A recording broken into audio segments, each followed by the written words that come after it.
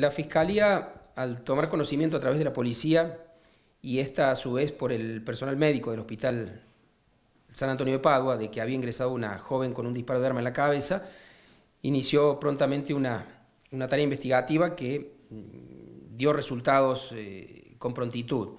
Em, una vez eh, obtenido el dato de quién podría haber sido el responsable de esta situación, este, mm, la policía se encaminó en su búsqueda.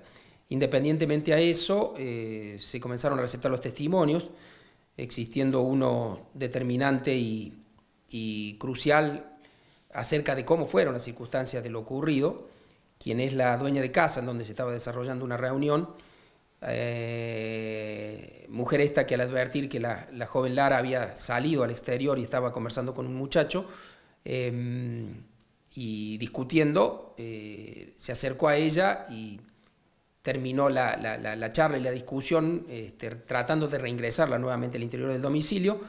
Este, y antes de que pudieran ingresar, esta mujer refiere de un disparo de arma que sintió como que le rozaba su propia cabeza, impactando en la cabeza de la joven que cayó evidentemente allí desvanecida y trasladada por estas personas inmediatamente al hospital, donde se constató su muerte. Eh, hay una persona detenida por este hecho.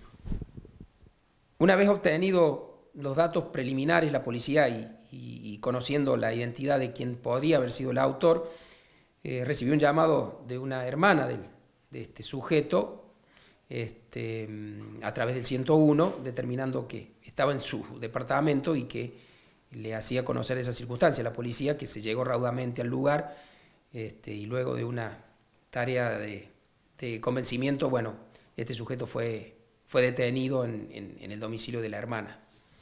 ¿Se puede conocer de quién se trata, doctor? El sujeto es apellidado Torres, Ariel, mm, y los demás datos personales evidentemente serán recabados una vez que sea indagado aquí en la Fiscalía.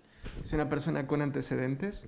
También son datos que tengo que corroborar, sea por parte de la policía o la Dirección Nacional de, eh, del Registro de Reincidencia Nacional, que nos remite todos los antecedentes de los, de los habitantes del país. Ha trascendido que se trataría de una expareja de Lara y que eh, la misma había formulado eh, con anterioridad algún tipo de eh, denuncia por situación de violencia. ¿Eso está constatado? Son datos a corroborar ambos.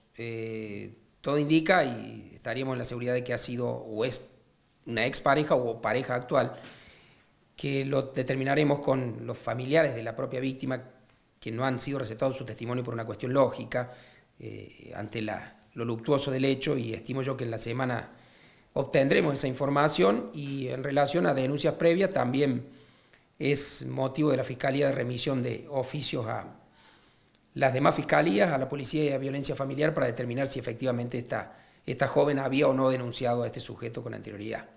Eh, ¿El arma homicida se encontró? El arma homicida fue secuestrada. Se secuestró un arma a través del dato que brinda la propia hermana. Ahora bien, eh, con el proyectil secuestrado en el lugar del hecho y un arma, se oficiará y se peritará en Córdoba a los fines de determinar si esa, si esa arma es la que efectivamente ocasionó el disparo que culminó con la vida de la joven.